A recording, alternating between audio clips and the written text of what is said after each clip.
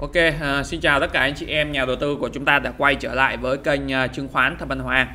À, ngày hôm nay thì Hoàng tiếp tục làm cái video à, chúng ta nhận định cái diễn biến thị trường trong cái phiên giao dịch ngày hôm nay à, thứ năm ngày 8 tháng 6. À, thì chúng ta có một cái phiên giao dịch ngày mai nữa là chúng ta kết thúc cái tuần thì chúng ta sẽ có nhiều các cái dữ liệu hơn. À, phiên mai cũng là một cái phiên rất là quan trọng à, để chúng ta xác định lại cái à, dòng tiền của thị trường à, và cái video tổng kết Ờ, về ờ, trong tuần giao dịch thì Hoàng sẽ làm vào cuối tuần thì anh chị em chúng ta đón xem. Còn ngày hôm nay thì chúng ta làm cái video ờ, nhận định cái thị trường trong cái phiên giao dịch ngày hôm nay mà thôi. Thì sau khi mà thị trường, thì trước tiên là anh chị em nào mà chúng ta xem video thì chúng ta nhớ là chúng ta để một nút like phía dưới màn hình. Thì chúng ta thấy là đối với cái thị trường chứng khoán thì chúng ta thấy là những cái phiên đầu tuần tăng rất là mạnh. Thì phiên ngày hôm nay thì chúng ta thấy là nó bắt đầu xuất hiện những cái áp lực bán điều chỉnh à, thật ra cái áp lực bán nó đã xuất hiện vào ngày hôm qua rồi. À, chỉ là anh chị em chúng ta không chú ý mà thôi. Thì cái vấn đề này Hòa sẽ đã nói trên cái à, YouTube à, trên cái video ngày hôm qua rồi. À, thì anh chị em nào nắm được thì chúng ta có thể là hiểu được cái cái thị trường nó nó sát hơn. À, thì chúng ta hiểu là khi mà thị trường tăng lên cao à, và cái lợi nhuận à, thì chúng ta thấy là sẽ không có vấn đề gì. Nhưng mà khi mà thị trường giảm thì bắt đầu cái tâm lý sợ hãi nó sẽ quay trở lại nó bao trùm các cái nhà đầu tư. Và từ đó thì nó sẽ có nhiều các cái câu hỏi hơn như là cái thị trường hiện tại liệu nó đã tạo đỉnh hay chưa rồi vân vân vân vân và hành động hiện tại như thế nào. Thì ngày hôm nay họ sẽ giải đáp những cái câu hỏi đấy cho anh chị em cũng như là chúng ta sẽ đánh giá qua một số các cái cổ phiếu mà anh chị em đang cầm à, để chúng ta có được những cái góc nhìn à, nó nó sát nhất à, thì điều đầu tiên à, thì chúng ta sẽ đánh giá qua cập nhật lại cái tình hình thị trường à, trong cái phiên giao dịch ngày hôm nay. Thế đây là một cái bảng thống kê à, nhỏ của à, thị trường. Thì chúng ta thấy là với cái việc mà tăng mạnh ở cái phiên thứ tư thì chúng ta thấy là ngày hôm nay thị trường mở cửa thì vẫn xanh đều. À, và chúng ta thấy là áp lực bán nó bắt đầu xuất hiện vào khoảng 2 giờ à, thì chúng ta có thể thấy ở đây một cái đường chỉ báo xuống và chúng ta thấy là volume tăng rất là mạnh thì nó thể hiện một cái áp lực bán rất là lớn.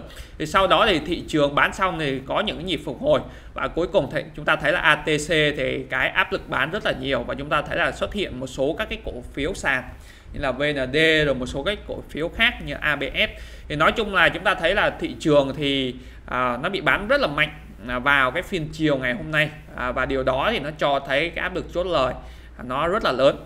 À, và chúng ta để ý về mặt à, thanh khoản.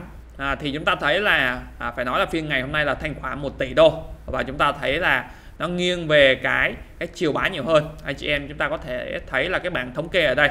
À, thì chúng ta thấy là 269 cổ phiếu giảm. Và chiều ngược lại chỉ có 139 cổ phiếu tăng thôi. À, còn phân bổ dòng tiền thì chúng ta thấy là à, cái giảm này nó chiếm đa số. Thì nó thể hiện cho cái thị trường thì nó gặp cái áp lực chốt lời áp lực bán ngày hôm nay à, nó tương đối lớn tương đối lớn. Còn về khối ngoại hay tự doanh thì gần đây họ cứ bán và họ mua những cái tỷ trọng rất là bé thì nó sẽ không tác động thị trường thì hoàng sẽ không đánh giá. Chúng ta chỉ đánh giá à, cái tình hình à, dòng tiền nhà đầu tư cá nhân trong nước thôi. À, thì à, áp lực bán của thị trường thì thật ra thì nó đã xảy ra vào ngày hôm qua rồi. Ngày hôm qua hoàng đã nói trong các room rồi. Đây, chúng ta có thể thấy ngày hôm qua này cái áp lực chốt lời à, và áp lực chốt lời này nó nó bắt đầu từ những cái cái lệnh bán chủ động trên thị trường. À, có nghĩa là những nhà đầu tư họ thấy lợi nhuận thì họ bán. Và chúng ta thấy là ngày hôm nay thì nó xác nhận cho cái việc là bán mạnh hơn. À, thì chúng ta thấy là khi mà Vietcombank nó giữ giá thì bắt đầu là thị trường đúng không ạ? Nó lại mang hàng ra nó bán. Và chúng ta thấy là à, nhóm thép nhóm ngân hàng à, chứng khoán và nhóm bất động sản ngày hôm nay bị bán tương đối mạnh. Thì nói chung là trừ các cái cổ phiếu nó có những cái câu chuyện riêng ra thôi còn như là còn lại đa số thị trường à, nó nó đều bị bán cả. Và cái kịch bản thị trường thì nó đang vào những cái nhịp điều chỉnh. Và phiên ngày hôm nay chính là cái phiên xác nhận của cái nhịp điều chỉnh đấy. À, thì đấy là những vấn đề mà anh chị em chúng ta có thể nắm bắt được. À, thì cái kịch bản thị trường thì à, Hoàng đã nói từ rất là lâu rồi. À, thậm chí là có những cái dòng chat ở ở trong à, những cái room cộng đồng room khách hàng cũng đã nói rồi. Có nghĩa là thị trường bước vào cái vùng đỉnh cũ à, thì đây là cái vùng phân phối lại các cái lệnh kẹt hàng nên khả năng rất khó vượt qua. Thì nói chung là đoạn này thì chúng ta phải canh chốt thôi giống như Benny này. Đúng không Benny thì Hoàng cũng đã cho cho chốt cho anh chị em trong room chốt rất là lâu rồi đúng không ạ? Đây à, thì chúng ta đủ lợi nhuận rất là lớn thì chúng ta cứ chốt dần. À, trừ những cái cổ phiếu khỏe như là TTF thì chúng ta vẫn có thể giữ lại thôi. Còn đa số thì chúng ta phải phải bán. Và cái vấn đề thì à, cái vấn đề mua mới thì hoàng đã nói trong những cái video gần đây cho anh chị em nhà đầu tư của chúng ta rồi à, là thị trường nó bước vào những cái vùng kháng cự quan trọng của nó thì nó rất khó vượt qua. Giống như là cái vùng này thì bạn đã nói trong cái video trước rồi. À, thì anh chị em chúng ta đừng có mua mới nữa thì chúng ta phải chờ.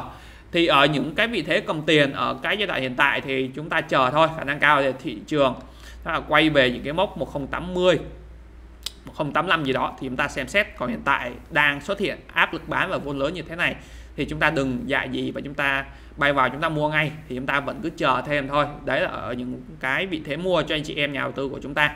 Còn ở vị thế bán thì à, nó sẽ tùy cổ. À, tí nữa Hoài sẽ nhận định các cái cổ phiếu cho anh chị em nhà đầu tư của chúng ta. Vị thế bán thì tùy cổ thôi.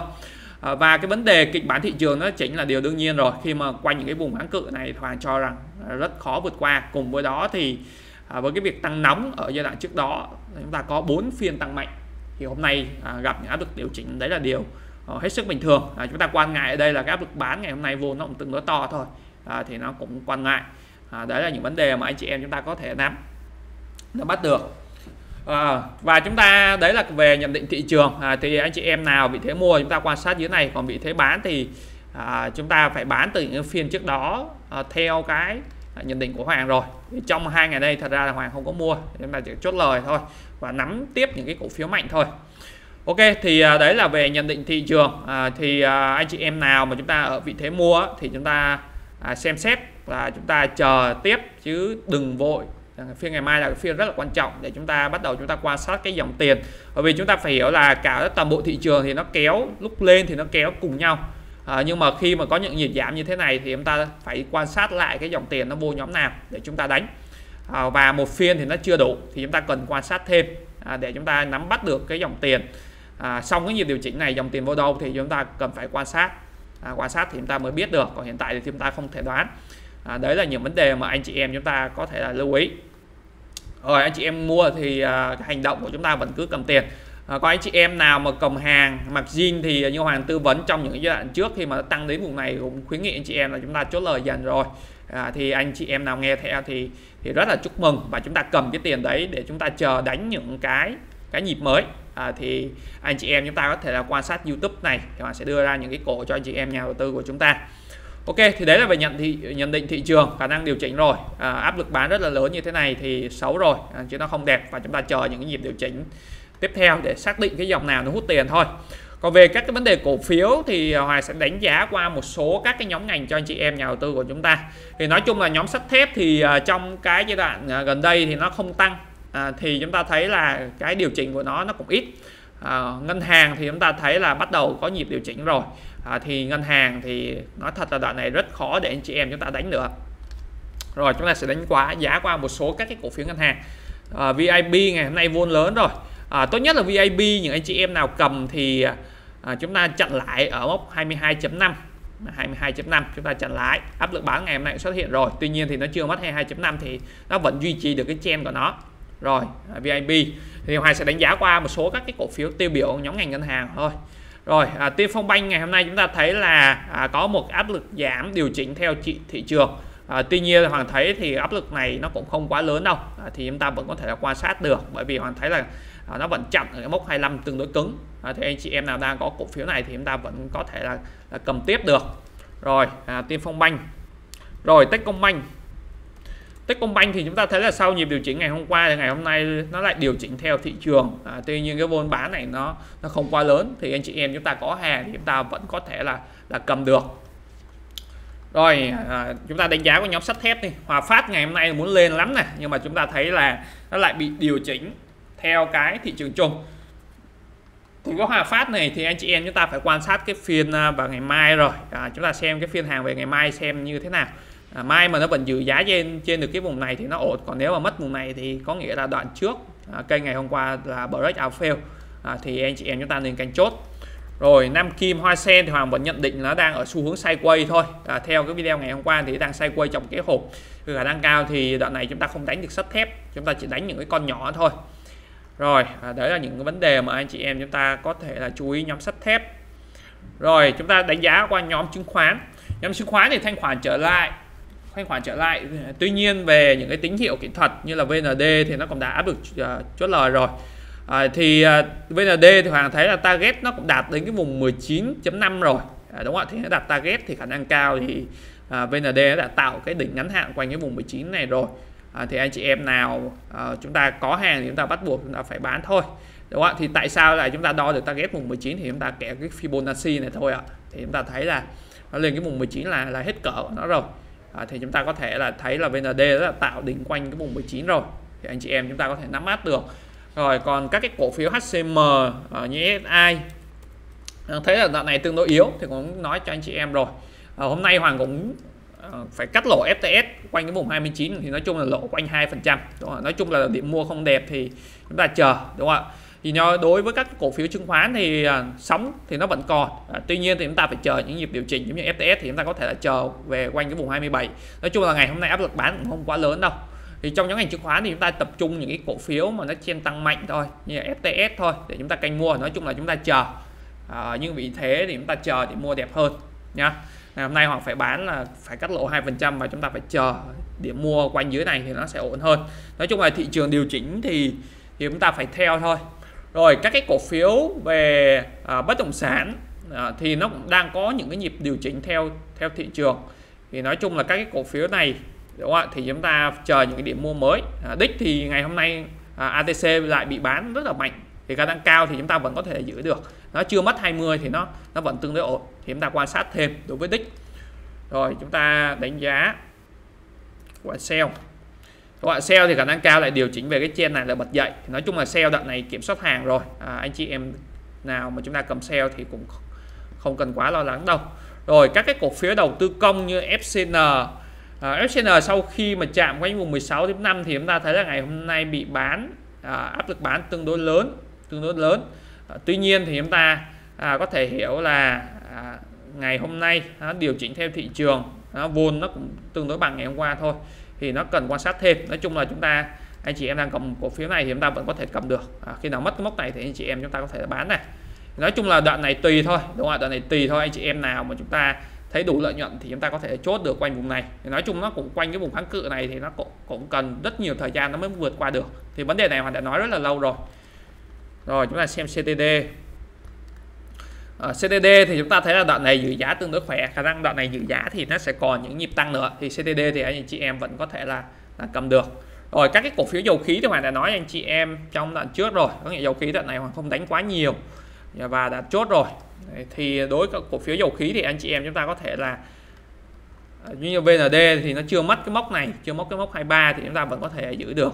Nói chung là nhóm ngành dầu khí đoạn này đánh không tối ưu nhưng hoàng cũng đã thoát rồi. Còn về nhận định đánh giá cho anh chị em thì à, những cái cổ phiếu này anh chị em vẫn có thể là cầm được và chúng ta đề ra những cái mốc ở dưới này để chúng ta cắt lỗ thôi đúng không ạ? Về BVC ngày hôm nay áp lực bán cũng tương đối nhiều. Áp lực bán như thế này thì anh chị em chúng ta cũng phải chốt rồi.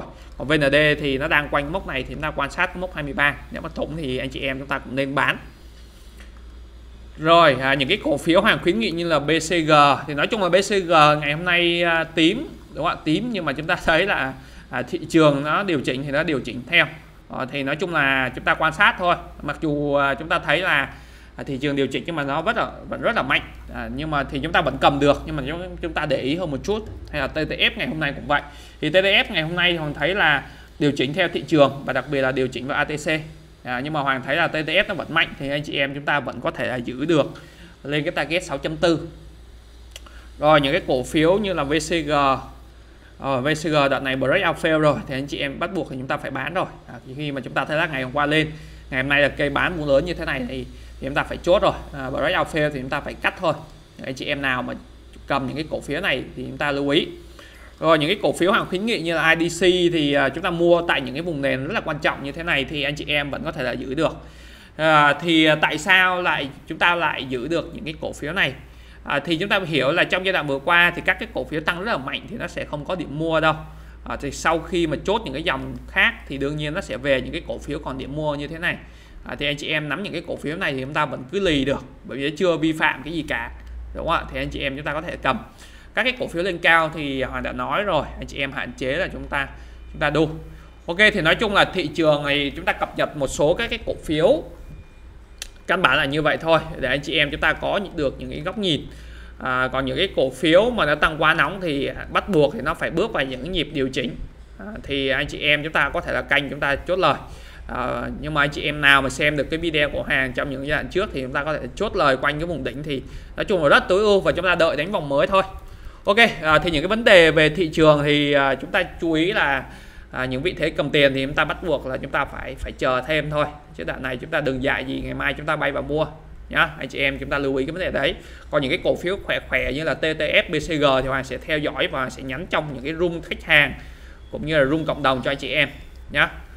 À, ok thì đấy là vấn đề về thị trường mà anh chị em chúng ta có thể nắm bắt được. Nói chung là đoạn này thì chỉ số nó quanh những cái vùng kháng cự rồi. Ờ, và những cái kháng cự quan trọng thì rất khó vượt qua. Ờ, thì chúng ta đừng nên đánh những cái cổ phiếu thị trường như là banh trứng hoặc là ờ, thép nữa hay là đầu tư công nữa. Chúng ta đánh những cái cổ phiếu riêng lẻ thôi. Thì đấy là những cái vấn đề mà anh chị em chúng ta có thể nắm bắt được. Và những vị thế mặt jean thì hoàng vẫn khuyến nghị anh chị em là chúng ta canh những cái phiên ngày mai. Nó hồi lại thì anh chị em chúng ta có thể là cơ cấu chúng ta bán bớt. Còn hiện tại thì à, vị thế mua chúng ta vẫn cứ cứ chờ để chúng ta xem dòng tiền vô nhóm nào sau cái nhịp điều chỉnh này. Ok thì đấy là những cái nhận định những cái vấn đề mà anh chị em chúng ta có thể là nắm bắt được. Ok chúc cả nhà có một cái buổi chiều thật là vui vẻ. Chúng ta cũng đừng quá lo lắng bởi vì à, tăng nóng thì điều chỉnh là hết sức bình thường. À, tuy nhiên đúng không ạ? Tuy nhiên thì những anh chị em nào nhanh nhạy theo cái à, phương pháp của hàng thì chúng ta có thể là chốt lời quanh những cái vùng đỉnh được rồi. Và hiện tại chúng ta phải chờ chúng ta đánh nhịp mới đúng không ạ? Chúng ta cố kìm nén cái lòng tham của mình để chúng ta chờ những cái cơ hội à, mới nó tốt hơn ok cảm ơn cả nhà rất là nhiều. À, chúc anh chị em có một buổi chiều thật là vui vẻ.